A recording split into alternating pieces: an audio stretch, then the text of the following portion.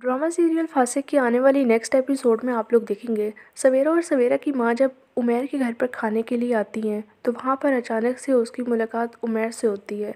उमेर उसे कहता है कि आप वही हैं ना, जो कि मुताहिर की बॉस है जिस पर सवेरा कहती है हाँ बिल्कुल।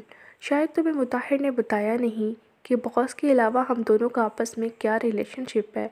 You are watching super entertainment जिस पर उमेर कहता है कि, नहीं बताया, मगर मैं ये जानना चाहता हूँ तो सवेरा कहती है, मुताहिर और मैं बहुत जल्द शादी करने वाले हैं। और उमैर उस दिन भी तुम मुताहिर से पैसे लेने के लिए आए थे। अब अगर तुम्हें किसी भी किस्म की कोई भी ज़रूरत हो तो तुम मुझसे मदद मांग सकते हो। उमैर ये सब कुछ सुनने के बाद हैरान और परेशान हो जाता है कि आखिर ये सवेरा किस तरह की बात कर रही है।